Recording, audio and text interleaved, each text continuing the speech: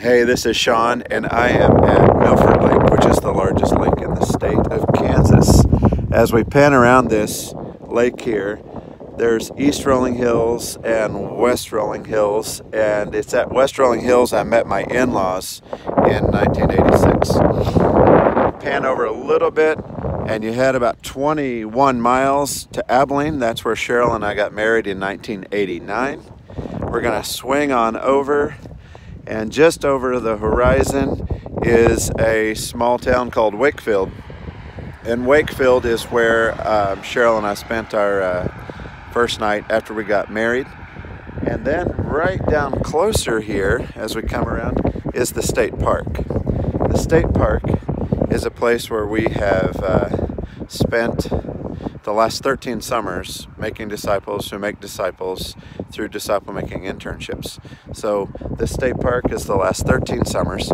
But one thing you may not realize is that we have uh, spent the previous 15 summers um, taking youth to West Rolling Hills to uh, use the outdoors as a classroom.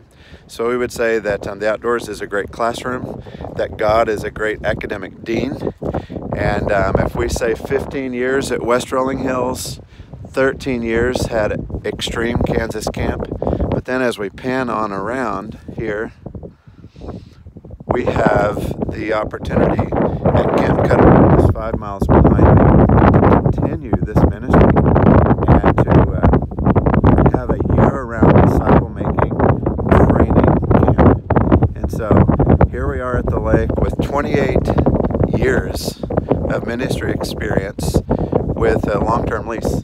And this lease takes us out to uh, 2039.